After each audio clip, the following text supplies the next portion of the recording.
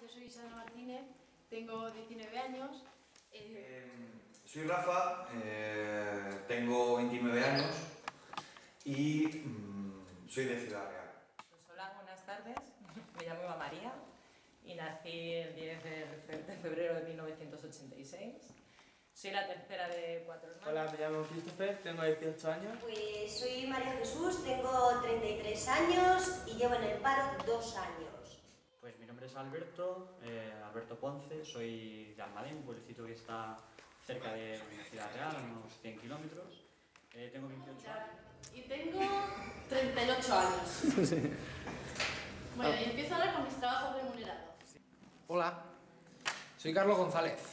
Tengo 21 años y nací el 10 de febrero de 1992. Hola, me llamo Monse y tengo 33 años. Mi primer trabajo remunerado fue en Eroski de Chile. Eh, hola, buenas tardes. Eh, me llamo Luis Fernando Gómez Rivero y nací el día de Santiago, pero nací aquí en Castilla-La Mancha, Miguel Turra.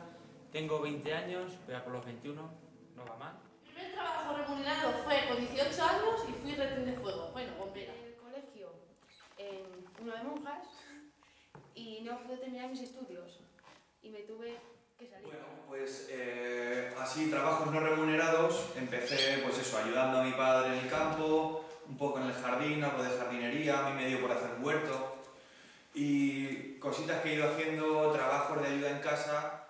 ¿Trabajos remunerados que he hecho? Pues empecé siendo camarera de bar de cañas, de, de aquí del pueblo, Luego he sido también, bueno, he trabajado como repartiendo cartas para los bancos que nos daban mil pesetillas al mes, así en plan, con una, una amiguilla y yo, con su madre, en la bicicletilla con la, por el pueblo.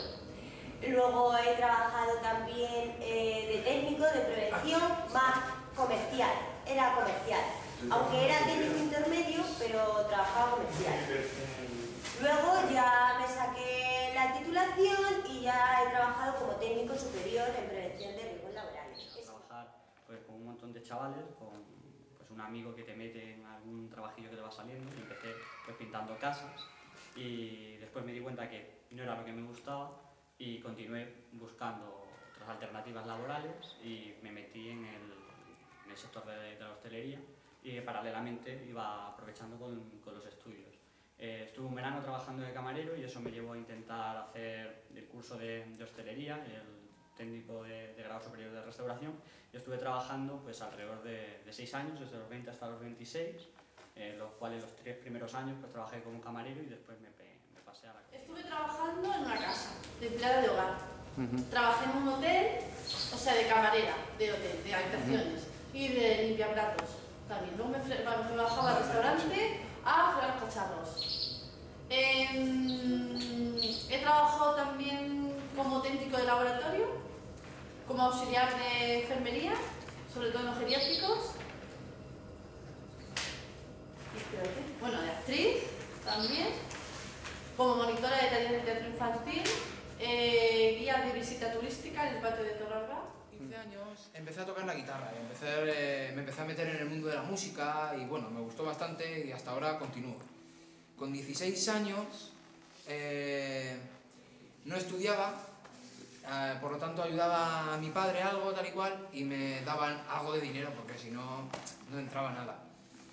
Y bueno, ya empecé, seguí tocando la guitarra, a involucrarme más en el mundo de la música con 18 años con 19 años acabé mis estudios y entré a la escuela taller, que es donde actualmente estoy.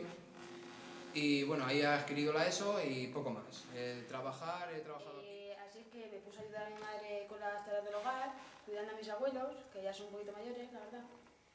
Y después me metí en un PCPI de jardinería, en el cual estuve dos años y convalidé algunas asignaturas.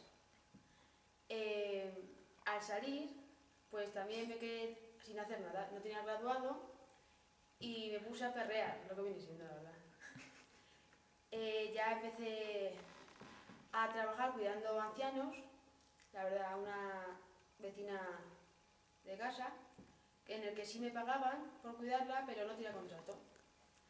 Em, ahí también estuve dos años y ya me tuve que ir porque empezaba con la escuela de taller que yo estoy en el taller de soldados y alicatados lo que viene siendo albañilería, el cual es un trabajo un poco difícil para las mujeres, pero no imposible. Eh, el tra- los trabajos que he hecho ha sido en el campo, eh, la vendimia, la aceituna y todo eso. Eh, he trabajado, ahora estoy trabajando con mi padre en, los mercadillos, por los pueblos. Eh, me gustaría dedicarme al teatro. Eh, ya llevo tres años. con el que me gané una copa y varias medallas de oro. y luego me dediqué al baloncesto. Estuve también muchos años, luego fui entrenadora de un equipo de, niñas y luego ya, pues me retiré por el tema de los estudios. Eh, De momento, con 21 años, pues he trabajado en, la- en un bar familiar, puteado, porque pagaban poquísimo. Eh, pues le pintó con un primo, que tampoco te creías que pintase mucho, me tenía limpiando brochas, y de carpintero a madre. Pues me gustaría estudiar comercio y marketing porque me parece un trabajo bastante abierto con el que te relacionas con más personas y es lo que a mí me hace falta, relacionarme con más personas para quitarme la vergüenza. Y luego, bueno, eh, he ido haciendo varias participaciones en diferentes asociaciones, ¿no? Eh, el Consejo de la Juventud, eh, nos metimos en el proyecto del Círculo de Bellas Artes, tampoco Y remunerado. estuve trabajando para Iberdrola, en la termosolar de Puerto Llano. Un Ah. trabajo muy bien, muy remunerado. En ese momento me quedé embarazada de mi hija y... ¿Cómo se llama? Se llama Adriana. De mi hija mayor. Esta es mi hija mayor. Luego tengo mi hijo pequeño, que se llama Enrique. Pues me quedé embarazada de ella y yo subía allí a los andamios, bajaba por los andamios. O sea, un técnico de prevención con un bombo, en una termosolar. Eh, estaba muy bien pagado, la verdad. No llegábamos a 2.000 euros, pero 1.600 para mí era un reto, comparado de no haber cobrado nada de autónoma y haber pagado fondo. no me sentía atraído por ese mundo, no me veía en el futuro pues, siendo cocinero, dando de comer a la gente. Y bueno, a mí siempre me llamó la atención intentar hacer eh, un trabajo para los demás, en el que se trabajara con los demás, en el que intentara ayudar a la gente. Entonces me metí en el curso de técnico de superior de integración social y estuve haciéndolo hace 3-4 años.